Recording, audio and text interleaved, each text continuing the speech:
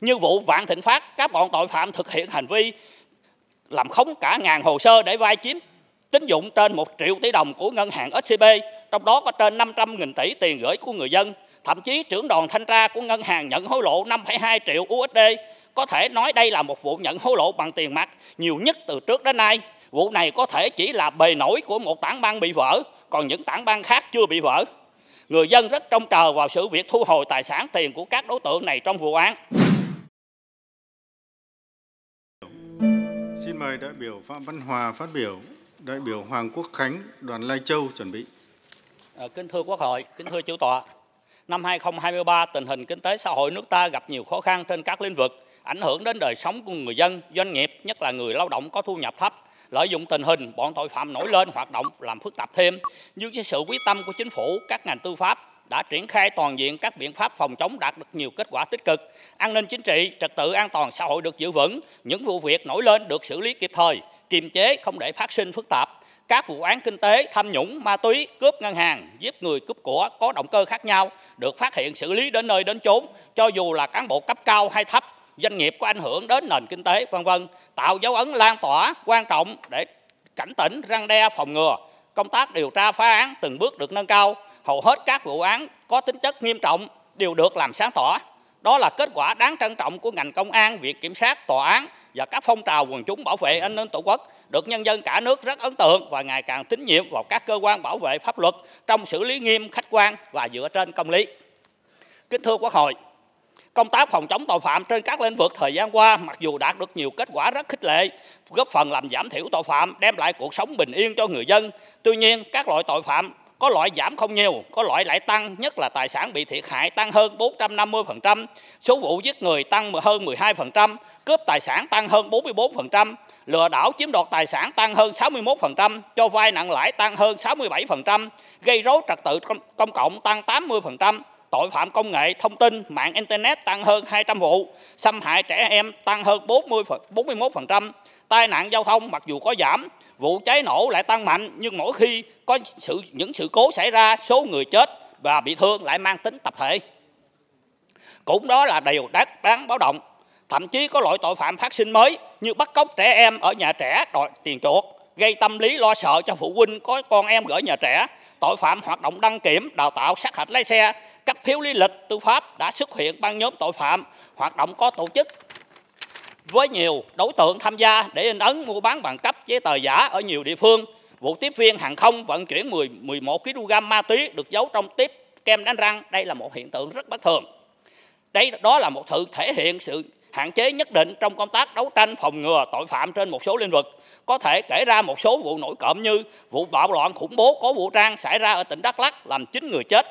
của cán bộ chiến sĩ công an và cán bộ lãnh đạo xã. Đây là vụ điển hình cho sự lơ là mất cảnh giác của cán bộ ở cơ sở và tranh chấp đất đai ở nơi đây, gây dư luận xã hội không tốt. Cho nên các cơ quan chức năng cần tăng cường hơn nữa công tác quản lý nhà nước về trật tự an ninh những nơi được chấm điểm phức tạp, rút kinh nghiệm sự vụ sự việc xảy ra, phát động phong trào quần chúng bảo vệ an ninh tổ quốc có chất lượng, nắm chắc tình hình cụ thể không để xảy ra những vụ việc tương tự.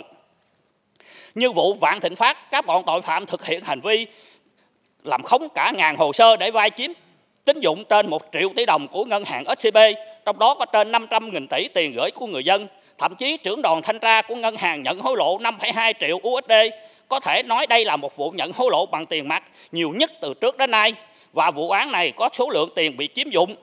rất cao, có khả năng thất thoát cũng nhiều nhất. Vụ này có thể chỉ là bề nổi của một tảng băng bị vỡ, còn những tảng băng khác chưa bị vỡ. Người dân rất trông chờ vào sự việc thu hồi tài sản tiền của các đối tượng này trong vụ án. Ngoài ra, dư luận đang đặt vấn đề để có có việc hay không sự bắt tay giữa một số ngân hàng với các công ty bảo hiểm giao cho nhân viên ngân hàng tư vấn khách hàng sai sự thật nhằm mục đích chuyển tiền từ tiền gửi sang mua bảo hiểm nhân thọ, bảo hiểm đầu tư. Hậu quả có cả nghìn người đã gửi đơn khiếu nại làm giảm lòng tin người dân vào hệ thống ngân hàng và hoạt động bảo hiểm. Đặc biệt là trong năm, tội phạm tham nhũng chức vụ tăng hơn 51%, số vụ, số người tăng hơn 96%, trong đó tội nhận nhận hối lộ tăng hơn 346%. Điều này cho thấy công tác phòng chống tham nhũng rất là quyết liệt, phát hiện đến đâu sẽ xử lý đến đó, không có vùng cấm, không ngoại lệ. Điều đáng quan tâm là những vụ án tham nhũng đều có liên quan đến người đứng đầu, lợi dụng pháp luật chưa chặt chẽ là cấu kết với nhau để thực hiện hành vi tham nhũng trục lợi. Dư luận cũng rất quan tâm đến việc lãng phí tài sản công, mua sắm, bất động sản, chi tiêu, vân vân. Số này lại không phát hiện xử lý. Nếu lãng phí mà có số liệu chứng minh có thể thất thoát ngân sách không ít hơn tham nhũng. Xuất phát từ những vấn đề trên, tôi mong chính phủ và các ngành chức năng có đánh giá thật kỹ, khách quan, cầu thị về những thực trạng trên, nhất là trong năm nay các vụ việc số người vi phạm lại tăng, trong khi các vụ giảm lại thì không đáng kể. Tìm nguyên nhân để có biện pháp khắc phục hữu hiệu, lấy lại lòng tin với người dân, nhất là các vụ án nghiêm trọng, rất nghiêm trọng liên quan đến cuộc sống sinh hoạt, tâm lý, tình cảm, cuộc sống bình yên của người dân, giảm thiểu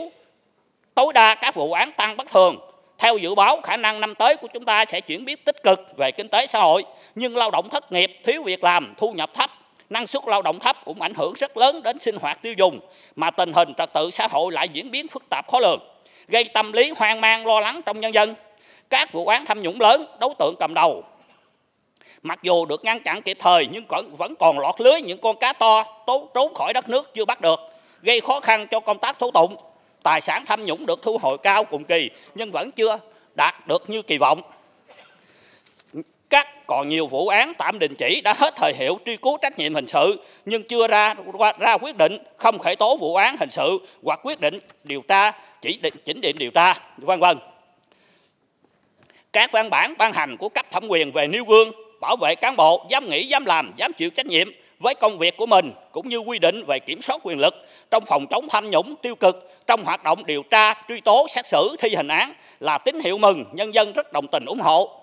Tin rằng thời gian tới có sự chuyển biến tích cực trong công tác phòng chống tội phạm trên tất cả các lĩnh vực. Tôi xin dừng ở đây, là đây là một số góp ý kiến của tôi. Xin cảm ơn quốc hội.